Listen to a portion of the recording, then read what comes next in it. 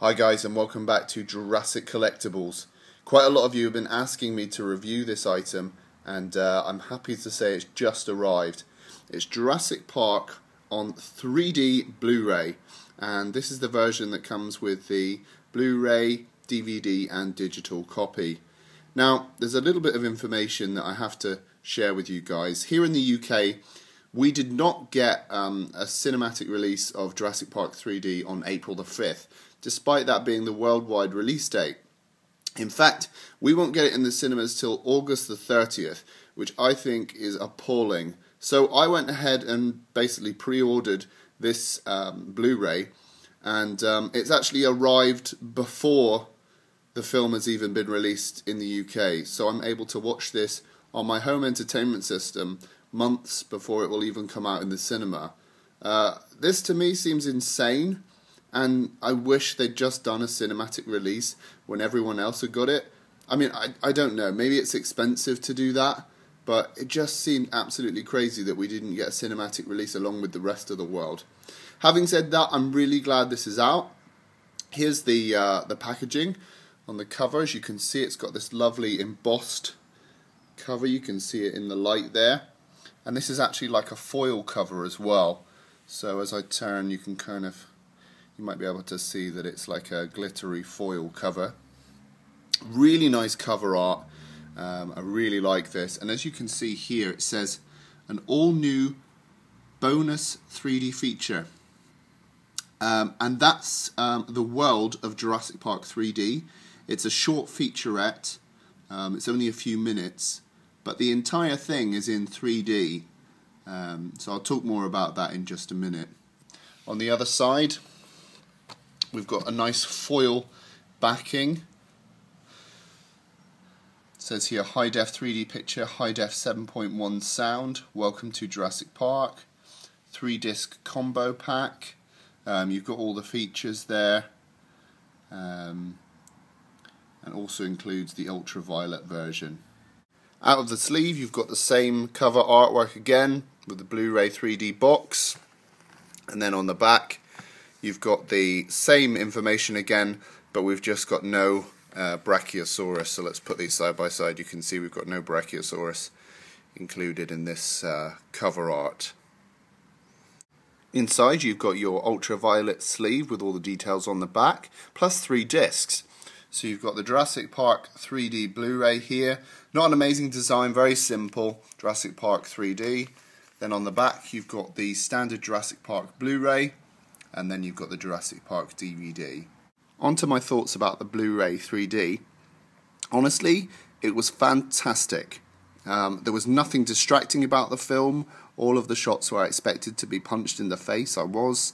And uh, I watched this on an LG 42 inch uh, 3D TV and for a home entertainment system, it was absolutely amazing.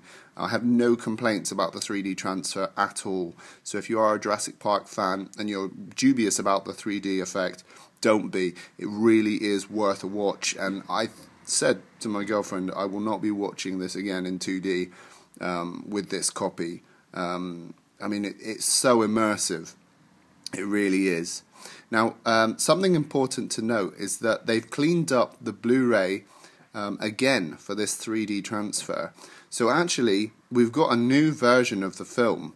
Um, if you have the standard Blu-ray and you're thinking, well, all they've changed is that it's now 3D, that's not the case. They've actually done a new version of the film again, um, and I actually put the Blu-ray that comes with this set in after watching the Blu-ray 3D to compare, and um, the standard Blu-ray is really grainy and dirty compared to this Blu-ray 3D transfer. So they've cleaned it up again.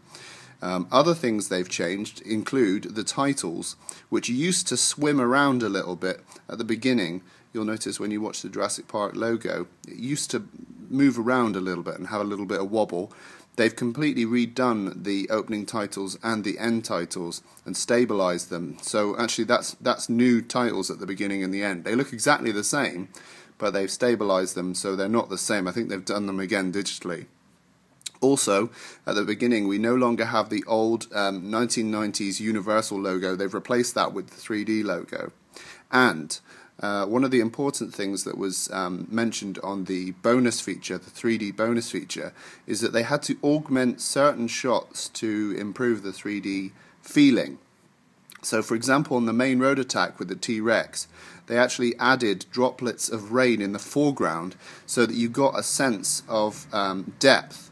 That things were in the foreground, and then you've got the T Rex in the background, and then they could fog out the rain in the background. So they actually added droplets of rain to those shots.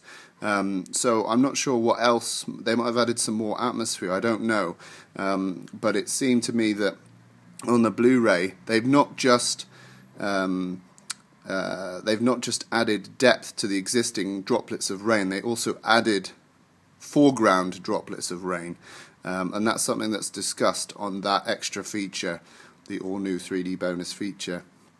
So we we've got a new version of Jurassic Park essentially, um, and I think if you watch this version, you will see what I mean. The clarity is completely different. Now, when they create a 3D version of the film, essentially what they do is they trace all of the objects in every shot, assign them a certain depth, and then create the left and right eyes from that. Okay?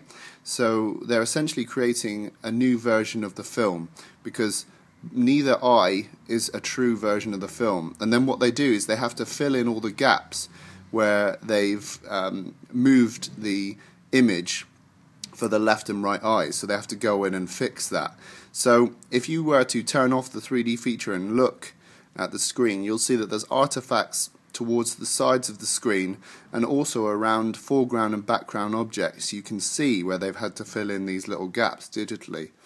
Um, when you're watching the film you don't even notice these things.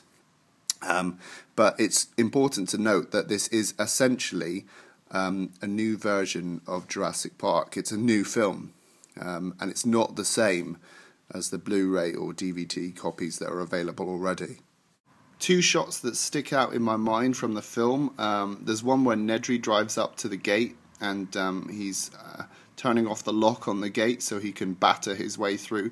For some reason, that shot, the depth really worked and it looked like a really nice shot. I remember saying to my girlfriend, "Wow, that looks cool." And then also near the end, um, when uh, Ellie says on the um, on the radio, Hammond, I think we're back in business, and the Raptor bursts through.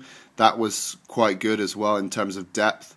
Um, also, the bit near the end where um, Lex uh, falls through from the ceiling, and then the Raptor jumps up to bite her. That is really uh, that's really like punches you in the face. So yeah, definitely worth checking out if you're a big fan of Jurassic Park. If you've got a cinematic release um, don't waste that opportunity to go and see the film. Um, it really is uh, worth a watch.